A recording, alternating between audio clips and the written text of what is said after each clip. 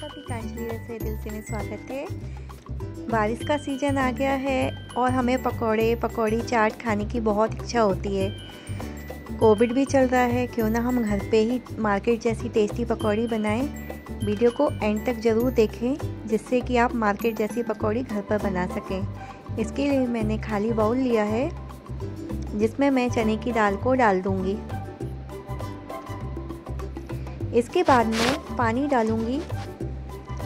और इसे मैं कम से कम चार से पाँच घंटे के लिए भिगो के रख दूँगी। आप दो तीन घंटे भी भिगो सकते हैं समझ डेज़ में।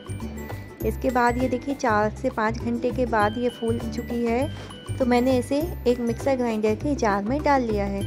इसके बाद मैंने इसमें साबुत मेथी और जीरे को भूंज के डाल दिया है और साबुत लाल मिर्च को डाल दिया है। इसके बाद इसकी लिड बंद करके इसे ग्राइंड कर लेंगे।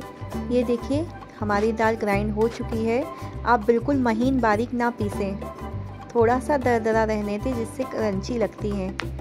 इसके बाद हमने दाल को एक बाउल में डाल दिया है। इसके बाद डालिए हींग।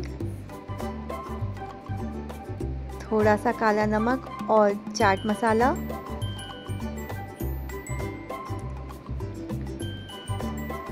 थोड़ा सा black pepper salt according to taste हल्दी पाउडर और बहुत सारा हरा धनिया। इससे क्या काफ़ी अच्छा टेस्ट आता है। आप इसमें हरी मिर्च भी डाल सकते हैं और इसे अच्छी तरह से मिक्स कर लेंगे। ये देखिए, हमारी दाल अच्छे से मिक्स हो चुकी है। अब इसमें मैंने एक प्याज को काटा है मीडियम साइज़ में और उसको इसमें डाल दिया है और अच्छे से मिला लिया है। इसके बाद मैंने गैस पे कढ़ाई को गर्म होने के लिए रख दिया था। जिसमें मैंने तेल गरम किया है। उसके बाद हम जिस तरीके से मंगौड़ी या पकौड़ी बनाते हैं सेम उसी प्रोसेस से आप देख सकते हैं हम पकौड़ी को तेल में डालते जाएँगे। और गैस की फ्लेम अच्छी तेज़ कर लें, उसके बाद आप जैसे ही पकौड़ी डालें, गैस को स्लो कर लें। अदरवाइज़ जो आपकी पकौड़ी है, वो ऊपर से तो जल जाएगी, सिक जाएगी बट अंदर से कच्ची रह सकती है। ये देखिए, मैंने एक एक करके एक पैच को डाल दिया है फ्राई होने के लिए। उसके बाद एक से डेढ़ मिनट बाद मैं इसे पलटूँगी। ये देखिए, मैं एक से डेढ़ मिनट हो चुका है मेरी पकौड़ी को तलते हुए। अब मैं इसे पलटूँगी।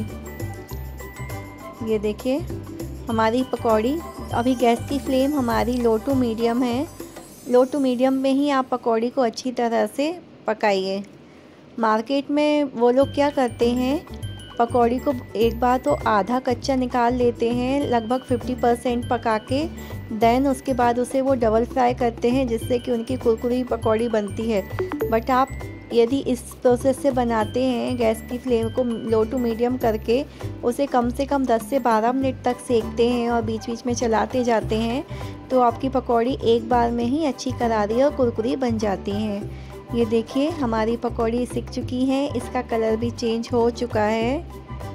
अब इनसे मैं गैस से बाहर निकाल लूँगी और इसे तली हुई मिर्च और इमली की चटनी के साथ सर्व करूँगी। आप ग्रीन चटनी भी बना सकते हैं।